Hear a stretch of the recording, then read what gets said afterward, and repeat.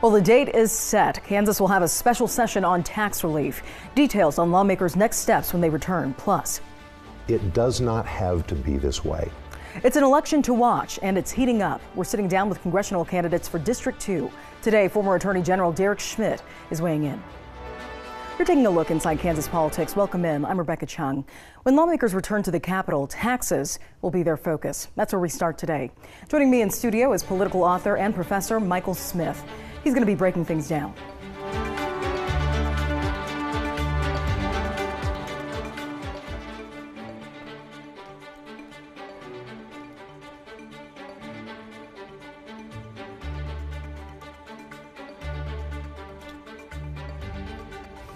All right, Michael, we finally have the date for special session.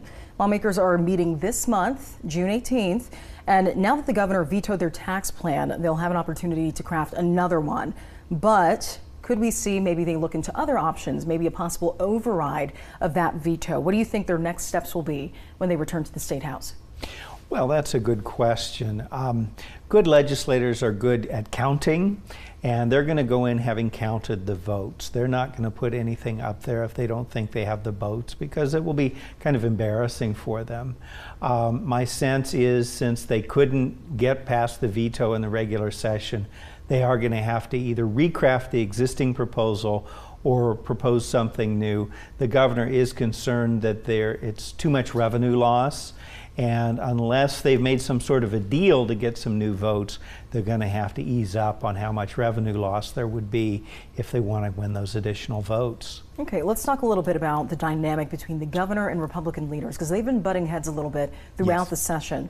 Um, do you think that they could potentially look at a compromise where you know the governor gets what she wants, Republicans get what they want, or do you think it's more likely that we could see the tax plan lean a little bit more red? Um, that's a good question. So originally what the Republicans tried to do is they took the governor's tax cut proposals and they just rolled them in with theirs. And they came up with this huge tax cut proposal. The governor, I'm sure, liked it that her tax cut proposals were in there, but she said, again, it's going to cost the state too much revenue. And so that didn't work. Um, does the governor have a negotiating point where the, the amount of revenue loss could be a little bit more than what she's saying, but not as much as in the last thing she vetoed? Um, there's a lot of kind of, of um, feeling each other out in these kinds of things. Nobody ever just lays down a hard number and says, okay, here's your number. And so I don't know any details, but again, they're going to be anxious to get out there and campaign. They're going to want to get this wrapped up fairly quickly. Also, there's been some bad publicity about the cost, even though it's fairly nominal if you look at the whole state budget. And so I don't see them doing something crazy outside the box. I see them uh, trimming the proposal a bit and saying, let's, let's give it another go. And if the governor doesn't like it, then they'll go after her and say, well, thanks to the governor, you don't get your tax cut. But the governor will say, I protected the state budget. And to the point of some Republican leaders, right, or some people on the Republican side as well, they have gone out of their way to also work out a compromise to create a plan yeah. that, you know, you also see some House Democrats siding on with. So tell me, you know, this dynamic that we're seeing where the governor pushes back so much on a bipartisan tax plan, do you think there's any weight there when it comes to some of the arguments that we shouldn't be having the special session in the first place? Well, um, you could make an argument there. I think in terms of the governor, she is term limited. She won't be running for reelection because of the state constitution. So she's at that point in your career where you pivot to thinking about your legacy. And uh, she clearly sees her legacy as restoring the integrity of the state budget from the Brownback years. Years from now, when the book is written about the Laura Kelly administration, she wants chapter one to be she saved the state's budget. She stopped the borrowing from the KDOT fund and all this other stuff. And she sees this tax cut proposal as being too big and endangering that legacy. Um, in terms of could it have been avoided, um, I couldn't say really, but there's obviously some sentiment that they they want to give it another go because she didn't have to call a special session, and they could have pushed back and said, you know, no, we'll go into special session, but we won't do anything. But they're still kind of putting those feelers out there that they'd love to get something done. Yeah, it is an election year, a major year also for tax relief. That's probably what the voters want to see. Um, let's also talk about some of the other issues that could come up during special session. Um, I know the Chiefs Star Bonds deal, the package that we were looking at prior to adjourning, um, this could potentially come back up. Do you think that it'll get far? That's a great question. Um, as you know, Rebecca, I'm a real skeptic on this. Uh, the proposed football stadium is extremely expensive, and I don't think that star bonds to fund that whole thing could ever be paid off with the revenue at the site. Um, it really is a Hail Mary, if you like your football metaphors. Um, and besides that, the Chiefs weren't really the issue in the Jackson County vote, it was more about the Royals. Um, but at the same time, everybody loves sports, it's free publicity anybody can make a fancy CGI of a new image of a football stadium that looks cool. So, yeah, they might try it. And the Royals are a little disgruntled, so it's possible that the Royals are in play but it's still a Hail Mary because it'd be way more expensive than like the Sporting Kansas City Stadium, which was a successful Star Bonds project, but much less expensive and a much smaller stadium. All right, Michael, thank you so much.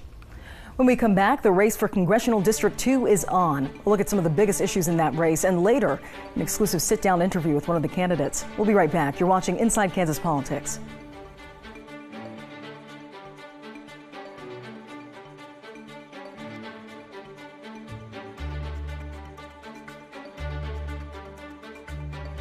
27 News is working for you, bringing you extensive sports coverage of state competitions. Local baseball and softball action all over the place. We'll bring you all the highlights our team has been out everywhere today. Hours of hard work pays off for local athletes looking for a state title.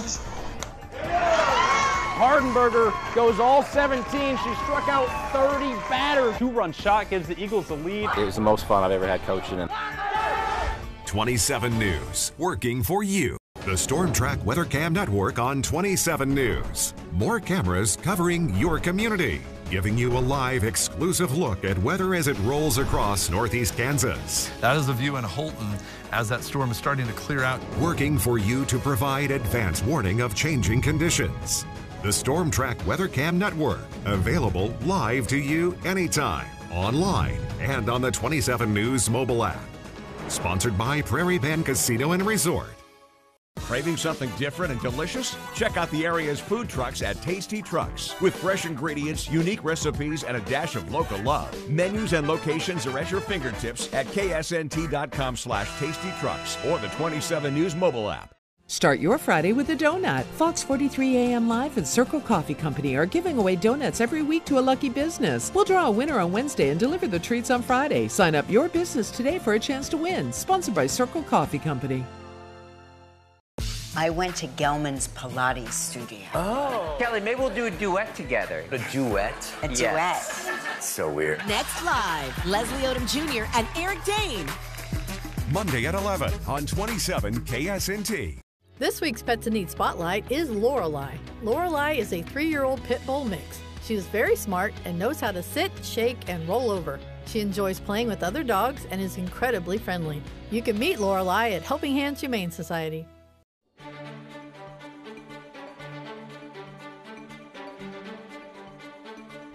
Welcome back to Inside Kansas Politics. I'm Rebecca Chung. It's a race we're watching this year. The seat for Congressional District 2 is up for grabs. And Michael, let's take a look at a poll that came out from Coefficient showing a huge lead for Derek Schmidt in that race. Here's how the candidates stack up based on that poll that came out last month. So Derek Schmidt coming in at 44% of the 1,500 Republican voters polled. They're leaning toward him. He's the former Attorney General. And we also have Jeff Kahrs. He's coming in at 4%. He's a former LaTurner staffer and Trump appointee. And then former Kansas Livestock Association president and self proclaimed cowboy Shawn Tiffany is coming in at 3%.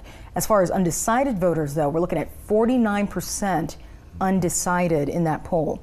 So there are also some key issues voters are concerned about based on what we were looking at in that poll as well. The border comes mm-hmm. in at mm-hmm. number one, then followed by cutting taxes, then inflation to round out the top three. So, what's your take on this race, Michael? Well, I definitely think Derek Schmidt is the front runner, and the simplest explanation for that is name recognition. Um, when we dive deeper into those polling results, we see that with those other candidates, a lot of voters have never heard of them. And the Derek Schmidt being a former gubernatorial candidate and attorney general, he's got that built-in name recognition. When you are running for an open seat, if you haven't held office before, your biggest enemy is actually not the other candidates. It's all the voters who have never heard of you. And that's one of the reasons why you have to raise and spend a lot of money, like we're seeing Shawn Tiffany do with his controversial commercial. You're just trying to get the voters to show up at the polls who know who you are. And as an incumbent, uh, not for this seat, but in other races, Derek Schmidt has a built in advantage. All right, Michael, thank you so much. Well, former Attorney General Derek Schmidt is one of the candidates in this race, as we said, and we're hearing from him next. We'll be right back. You're watching Inside Kansas Politics.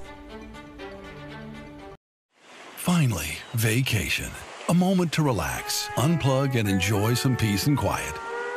Except you're not on vacation this year because your old wood windows need expensive maintenance and repairs. Maybe you'll see the beach next year. At Renewal by Andersen, our exclusive long-lasting Fibrex windows give you the durability of wood and the low maintenance of vinyl. So relax and let your windows work hard instead of you.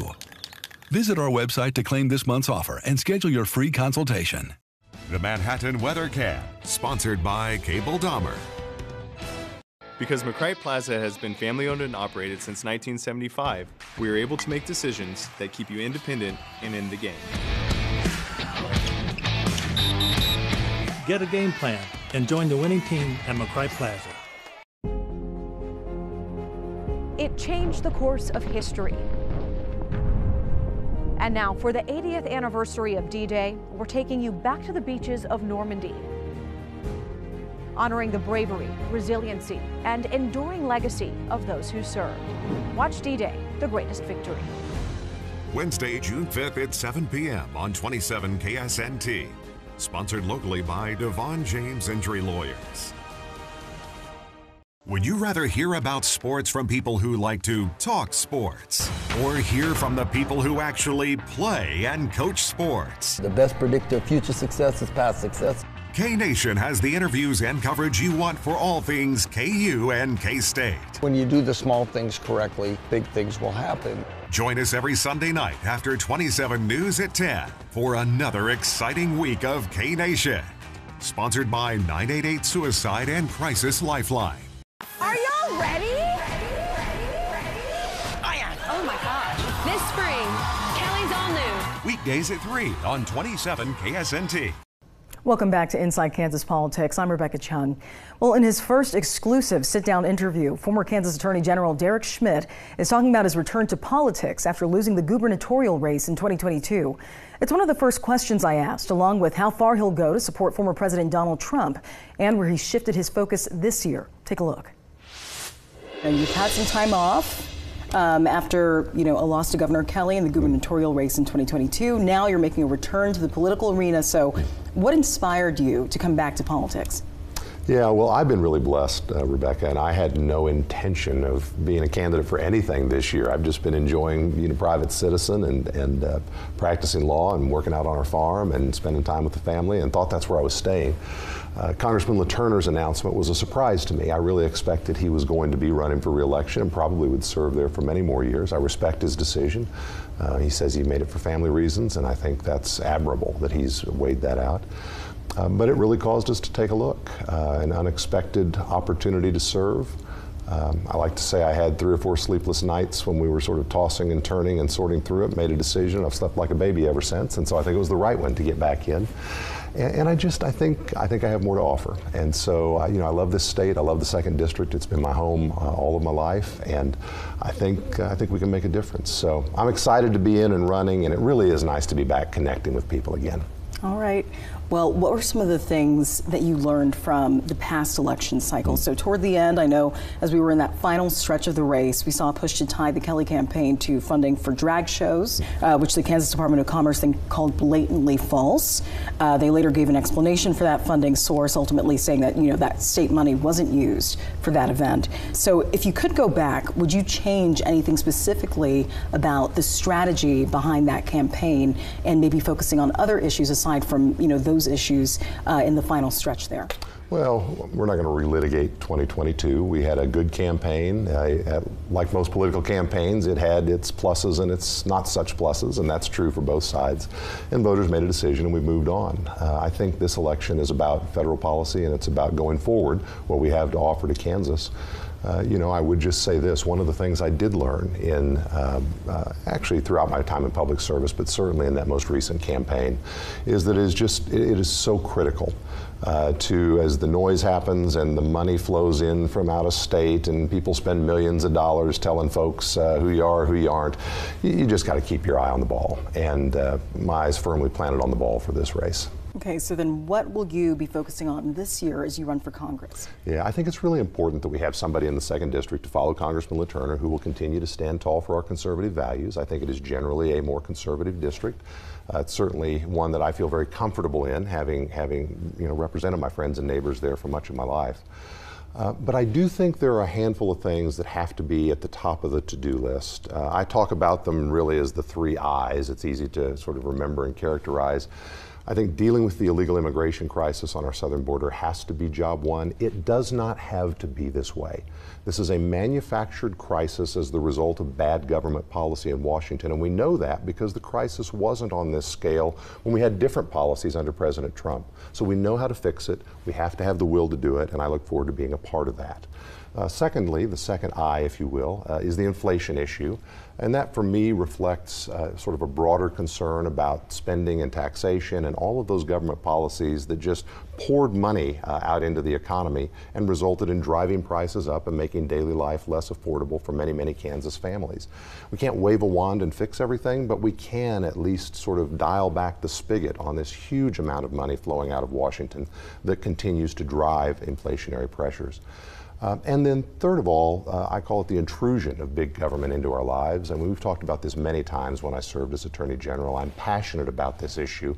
Uh, look, I, the, the, the, the, government structure that we have today, the enormity of the federal government that does everything from trying to regulate gas cook stoves to, uh, you know, there was an effort by the IRS to, I say, spy on our bank accounts, require your bank to report every time you wrote a check more than $600 those are so far removed from the freedom loving country that the founders intended, or frankly, that existed even two and a half generations ago. We, we don't have to turn the country on its head in order to say we've got to calm this down and move in the direction uh, of less bureaucratic intrusion into our lives. And here's why that uh, uh, you know really is an appealing issue to me in terms of this race for Congress. As Attorney General, I fought that for 12 years, but we did we had imperfect tools. It was when Congress had failed to rein in the administrative state, we had no choice but to go to court and ask a judge to help us as sort of the last line of defense. That's not the most efficient way to deal with the problem, as I said many times previously. It's just all we had at that point. What really needs to happen is Congress needs to do its job.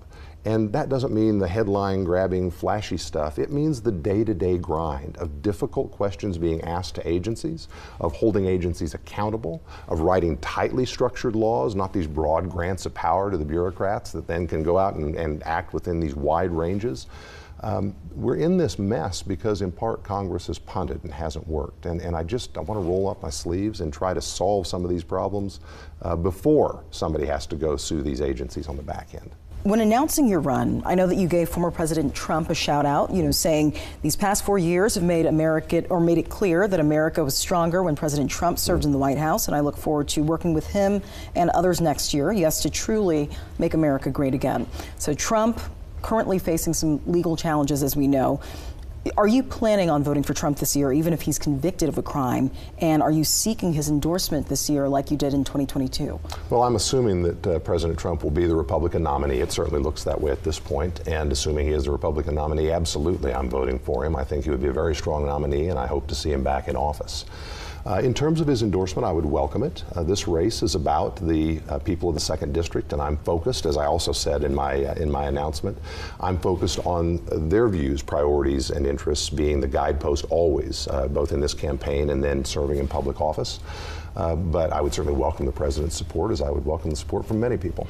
Even if he's convicted, though, of like a crime oh, and oh, certainly. And if you look at um, you know, if you look at this trial that's going on in New York now, I mean, it, it's it, it's it's just shameful. I mean, I've watched a lot of trials in my life, And this one uh, is nothing that the justice system or the Republic ought to be proud of. The case should never have been brought, uh, and it certainly should never result in a conviction. So I, uh, I'm frustrated with the justice system. It's New York. They'll do whatever they do in New York, but that doesn't change how the rest of us uh, ought to view the stakes for our country in this election. Also to note, since our interview with Schmidt, Trump has been convicted. Where does Schmidt stand on bipartisanship? Will he work across the aisle if he gets to Congress? That answer next. We'll be right back. You're watching Inside Kansas Politics.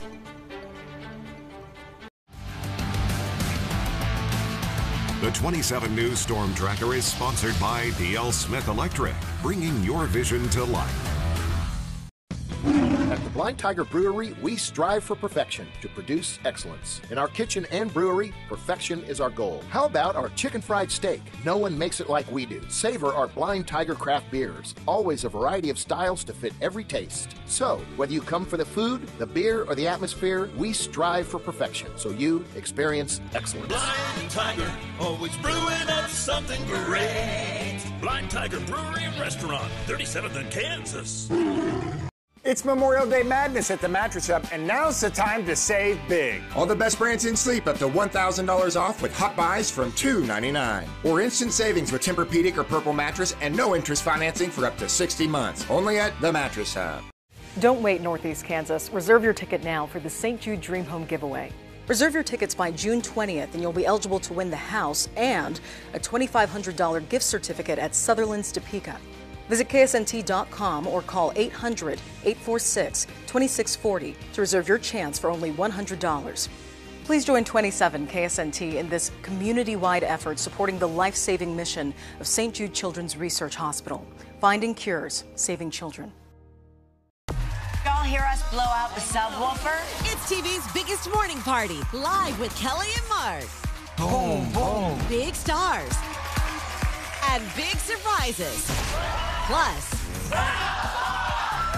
Are you rooting for me or against me? don't miss the fun on the number one entertainment talk show. You think the other talk shows complain about us? They're like, it's too loud over there.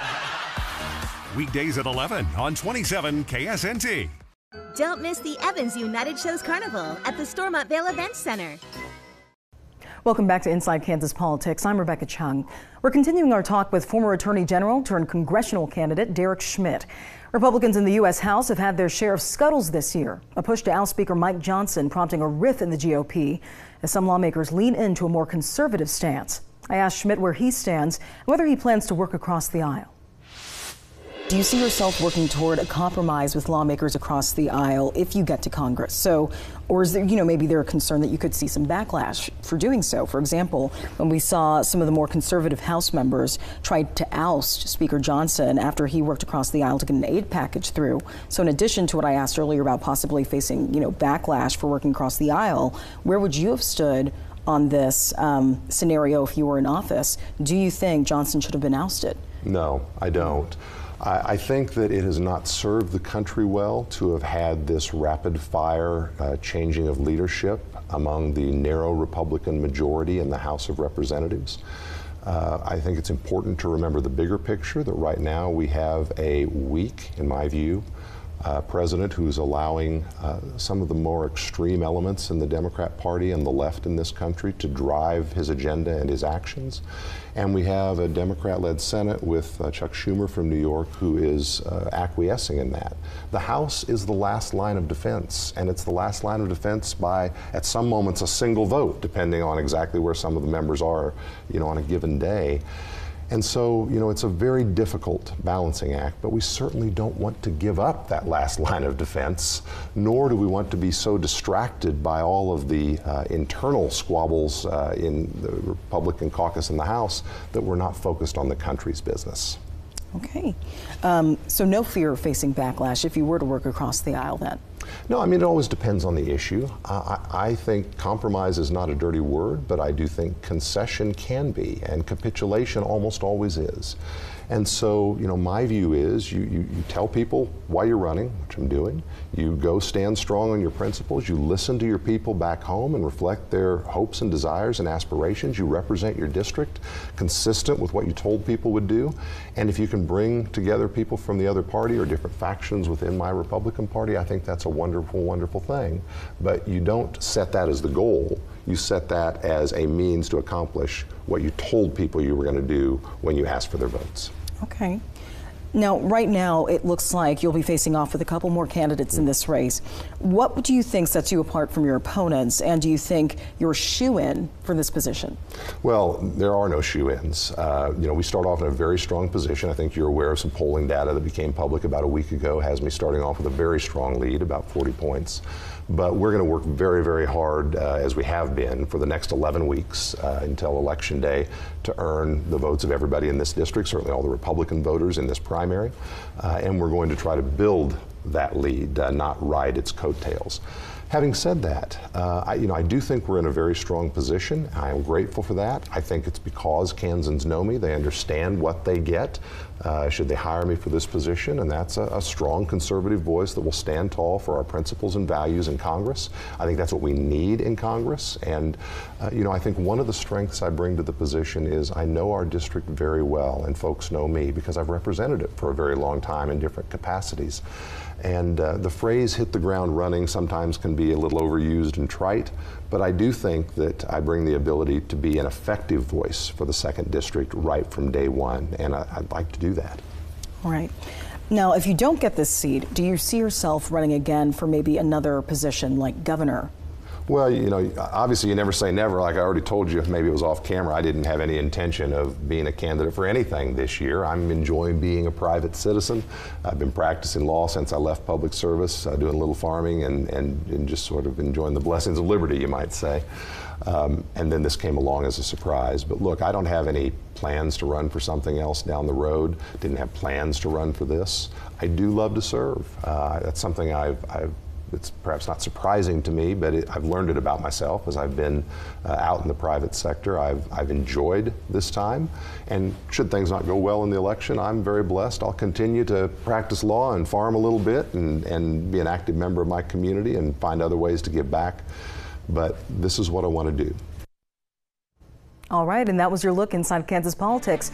If you want to keep up to date on all things Kansas politics, then follow us on social media. Follow us on X at InKS Politics and on Facebook. Just search Inside Kansas Politics. We'll also post the full video on YouTube. Just search KSNT News. And check ksnt.com slash inside dash kansas dash politics for past episodes. If you have a story you want Kansas state legislators to hear or topics you think we should cover, let us know. You can email us at ikp at ksnt.com. We'll see you right here, same time, same place. Have a good day.